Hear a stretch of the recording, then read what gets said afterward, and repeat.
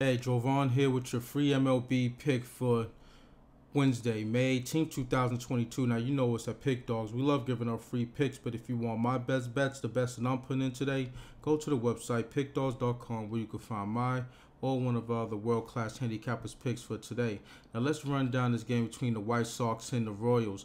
Now, we have the White Sox coming into this one with a 17-17 record, eight and seven on the road, and guess who's back? Lucas Giolito coming off an IL stint, uh, extended IL stint at that.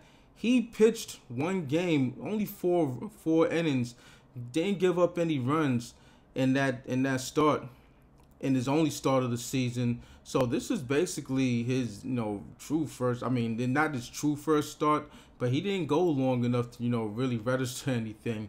So, you know the White Sox have won the first two games of this three game set, so they're looking to sweep out the Royals in this one. And the Royals, they're 12 and 21 this season, and they're 6 and 10 at home, and got the wily veteran Zack Greinke on the mound. He's 0 2 this season with a 3.52 ERA, 1.17 WHIP, and five and one thirds innings average of work in his starts.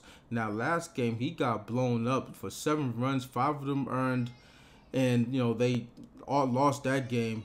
But you know the long and the short of it is, is that the White Sox are just thoroughly dominating this series, and I expect that to continue in this one. I think they get the sweep. I think they win by margin, and take them on the run line. And the White Sox on the run line is my free pick. Now go to the website, pickdawgz.com, where you can find my or one of our other world class handicappers picks. Smash that like button. Let's get this money and hit the book where it hurts.